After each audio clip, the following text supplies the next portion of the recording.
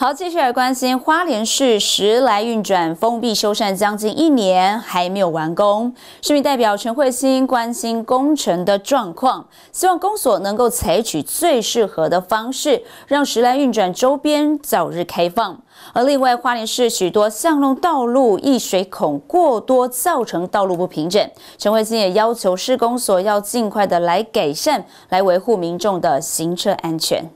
花莲市时来运转封闭修缮将近一年还没有完工，市民代表陈慧清关心工程状况，希望公所可以采取最适合方式，让时来运转周边早日开放。我们也知道疫情过后，非常多的观光客来到我们花莲，那来到花莲一定都会到东大门，东大门的游客哈是非常非常的多。但是我们临近东大门的一个我们花莲的地标叫做时来运转，时来运转它已经延宕工期很久了，所以今天就针对这个延宕的工期来。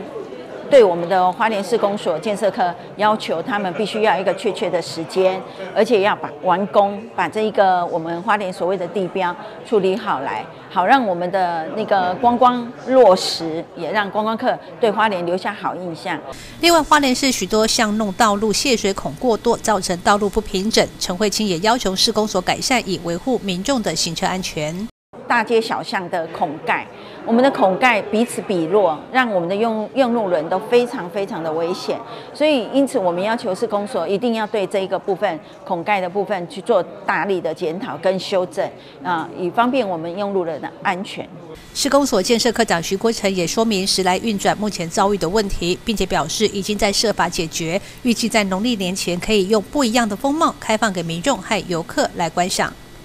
谢鲁会欢视报道。